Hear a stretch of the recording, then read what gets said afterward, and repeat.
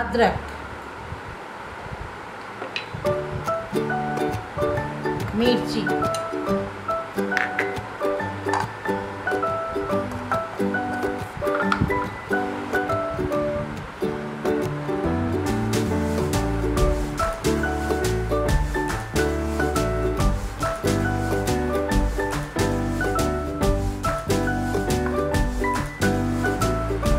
Mutton curry की paste के लिए इसमें है प्याज, अदरक, लहसुन, मिर्च।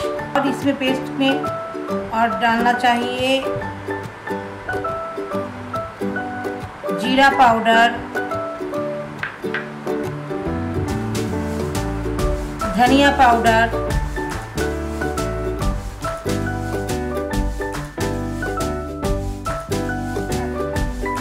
कढ़ाई को अच्छे तरह से गर्म कर लीजिए।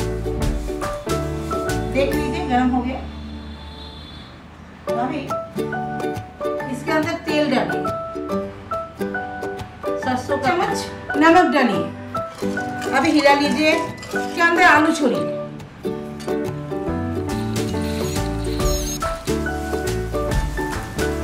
दो मिनट हो गया इसको खोल दीजिए। आलू को ऊपर ले लीजिए। देख लीजिए, हो गया, पूरा ब्राउन हो गया।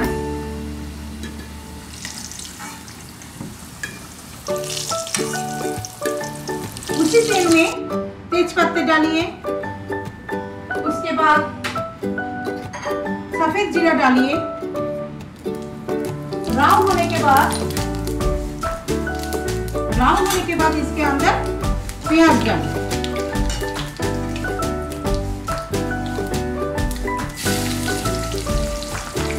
डाल दीजिए इसके अंदर। अच्छे तरह से हिलाकर अभी पूरा पाँच मिनट तक इसको हिलाते रहिए ब्राउन होने तक। जब ये ब्राउन हो जाएगा तो प्याज हो गया इसके अंदर। दूसरी चीज़ डालना पड़ेगा। अभी इसको ब्राउन होने पाँच मिनट लगेगा। प्याज ब्राउन हो गया। इसके अंदर मटन डाल दीजिए। मटन को धीरे धीरे डालना। मटन का जो पानी है ना, वो पूरा पूरी निकल लीजिए। इसके बाद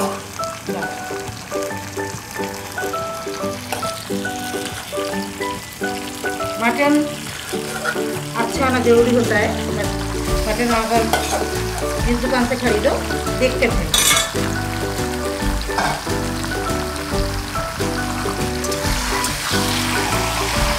अभी नमक डालना इसके अंदर। स्वाद अनुसार।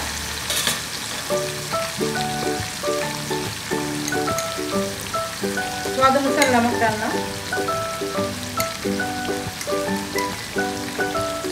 हल्दी डालना। हल्दी डालना। हल्दी नमक देने के बाद अच्छी तरह से मिक्स कर लीजिए। फिर इसको दो मिनट के लिए ढक दीजिए। मिनट के लिए दो मिनट तक इसको छोड़ा था। अभी देखिए, इसका पानी निकल आया थोड़ा। इसके अंदर जो पेस्ट किया हुआ था मसला था ना, अभी डालना पड़ेगा। जिसके जिसमें मैंने मिलाया था प्याज, लहसुन, अदरक, मिर्ची। इसके अंदर डाल के अच्छे तरह से मटन के साथ मिक्स कर लीजिए।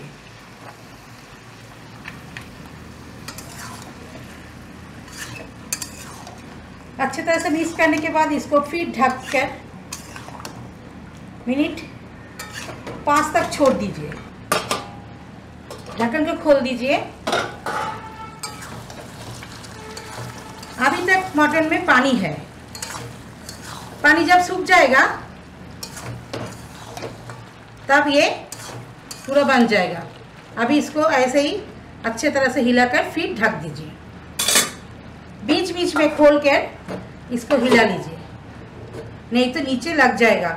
अगर नीचे लग जाएगा तो ये खराब हो जाएगा। इसलिए बीच बीच में ढकना खोल कर इसको अच्छे तरह से हिलाकर देख लेना पानी सूखा है कि नहीं। अगर सूख जाएगा तो होगा। अभी ढक्कन खोलिए इसका। देखिए, इसका पानी पूरा सूख गया तेल छोड़ दिया है। अभी इसको प्रेशर के अंदर डालना पड़ेगा, पूरा पकने के लिए। देखिए, पहले से मैं प्रेशर के अंदर आलू छोड़ के रखा। अभी मटन को मैं धीरे धीरे प्रेशर के अंदर डाल रही हूँ। जब पूरा हो जाएगा, डालना डालने के बाद इसके अंदर गरम मसाला डाल गरम मसाला गरम मसाला इसके अंदर डाल दीजिए। इसके बाद मैंने पहले से पानी गर्म करके रखा था, इसके अंदर डाल दीजिए पूरा पानी डाल दीजिए। ये मटन झोल है, इसीलिए थोड़ा सा ज़्यादा पानी लगेगा। ऊपर नीचे हिला दीजिए। अच्छे तरह से। अभी इसके ढक्कन जो है ना, प्रेशर का ढक्कन, इसके ऊपर लगाकर, प्रेशर के ढक्कन जो है,